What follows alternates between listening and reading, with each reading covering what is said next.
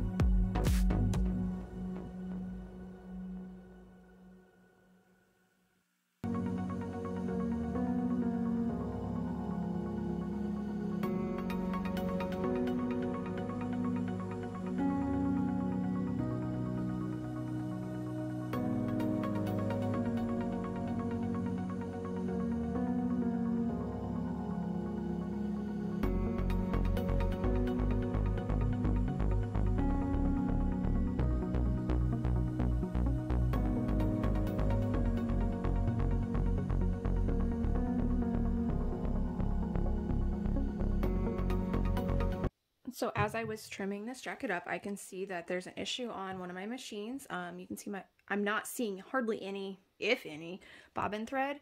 And this is most likely caused by a dirty bobbin case. So I'm to, I actually pause that machine. Um, I'm going to pull the bobbin case out. It had, I just taken this um, design off that machine, so it hasn't got very far on the next one, but I want to fix it. Now, there's nothing going to be wrong with this jacket itself. It's real small satin stitching. It's not going to pull or anything like that. If it was super thick satin stitching like on an applique, um, I'd want to check it for to make sure it wasn't going to pull, but on this lettering, this type of design, it's not going to. Um, so this is perfectly acceptable. I'm just fixing it so I don't have future problems. So I'm going to grab the bobbin case. So here's the bobbin case from that machine and it doesn't look bad. Like what I'm looking at, it's gonna be super hard to see in the camera. It's right underneath this flap here. I'm gonna take my bobbin out and um, check under that flap. I use a business card or I actually just have these alcohol prep pads laying um, in my cleaning stuff for my machines and I like using them. I just slide it under there where you pull the bobbin thread through and I got just a teeny tiny, you can almost not even see it, amount of thread out of there, or dust, lint, whatever out of there. You'd be surprised how much just a teeny tiny bit can mess up your bobbin thread. Um, so now I'm just going to re re-put the bobbin back in and put it back on my machine. And once this design's done, um, I will look at it again on the next um, jacket and make sure that that fixed the problem. It should have though. And I know that this is a bobbin issue because you can see it across multiple colors. You can see the bobbin thread a little bit on this teal green, but um, there's not much difference. And that's just because it's a whiter um, fill design versus, but the satin on the green, the teal green and the satin on here, the satin on the silver, none of it's showing that. So that tells me that it's not just the one top thread, it's the bobbin thread. And again, just from experience, I know when my machines do that, there's a tiny bit of lint in that small space in the bobbin case. All right, so after I fixed the bobbin case, I restarted the machine and it all went haywire from there. Um, it's I backed it up a little bit so it'd go over those last couple stitches and it ended up bird nesting because it was like on the dot of the eye, so that was my fault. Then it broke a needle and then I tried to restart it and it's messing up again. So I took that as my cue and it was time to take a break and walked away, went and had lunch. So I'm getting back started now. I still got to deal with this mess over here um, and figure out if I can get this design started again. Um, thought putting a hole in the fleece and salvage it because I don't have another one of those jackets on hand and I don't want to have to delay the order to give me time to order a new one. So, stress. I'm going to try to fix that first and get going. I've actually got through, um, I don't know how, I didn't count up how many, but it's almost everything that needs to ship today and tomorrow. So now I just have Fridays left. Um, and of course there's more on Friday because that's orders that came in last Friday, Saturday, and Sunday. Um, so there's like three days worth. Um, so I'm probably not quite halfway done yet and it is 11.45. So that's not too bad. Um, but got to get this thing going again. Um, it sounded like it was going to break a needle again, so I just stopped it and walked away. Um, sometimes you got to do that. But everything else is running pretty smoothly. I'm going to get these finished and then I'll catch back up with you guys in a little bit. All right, so I was able to salvage that jacket, thank goodness. Um, I did put just an extra piece of cutaway on there for when I was doing the name, um, just to give it some extra stability because it kind of tore through the stabilizer that was already there. So I just took a little corner piece off and put it right there just for that one letter. Um, so I'm going to trim that around that now. Um, so I've been trimming and folding my jackets as I go. That definitely helps me to stay productive and to make sure I get stuff shipped that I get done. I still have, I think, 12 or 14 jackets to go. So I'm, I'm not quite to halfway done. I think it's 14. Not quite halfway done. I started with 25. Um, but making progress. Definitely should have made a lot more progress, but it is what it is. Um, but I don't have to have these all done today to ship. Just and I've actually got one more to do that has to ship tomorrow. The rest will be Friday. So it's quite a bit later. It's 1:45, and I'm getting ready to start packing orders. I've got a couple here done that I needed to trim up, and then some more finishing. Um, I have six or seven jackets left to do, um,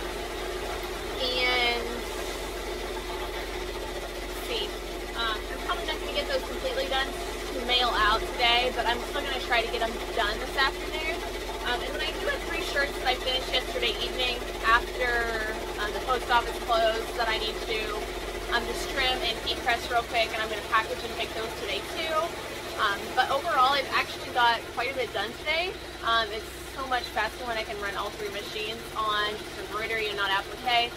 Um, that's kind of been my plan of attack for the weeks, the past several weeks, is try to get all my applique shirts done early in the week, and then when I have some dedicated time to really work, um, that way I can run all three machines on embroidery. Um, it just goes, it feels like it goes so much faster